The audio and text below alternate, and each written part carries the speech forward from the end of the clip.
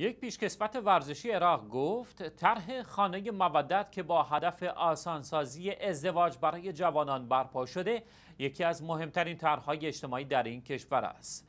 سعد حافظ بازیکن پیشکسوت و مربی بین المللی فوتبال در عراق ضمن گفتگو با خبرگزاری شیه ویوز اظهار داشت.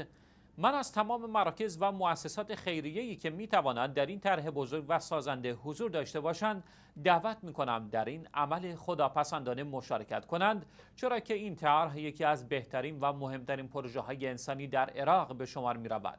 صد حافظ افزود این طرح به قشری مهم در جامعه توجه دارد. جوانانی که در راه اطلاع وطن خود آسیبهای فراوان را به جان خریدند و خونهای بسیاری را فدا کردند و من به همه جوانانی که در قرعه کشی مؤسسه مسوال حسین علیه السلام برنده شدهاند تبریک می‌گویم و برای آنان آرزوی موفقیت می‌کنم. گفتنی سه پروژه خانه مودت که از سوی مؤسسه فرهنگی و نیکوکاری مسوال حسین علیه السلام و به همت دفتر مرجعیت شیعه آیت الله العظما سید صادق حسینی شیرازی بنیانگذاری شده.